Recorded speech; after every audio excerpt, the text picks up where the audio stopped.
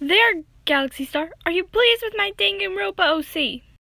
Are all of you satisfied? Cause I know Galaxy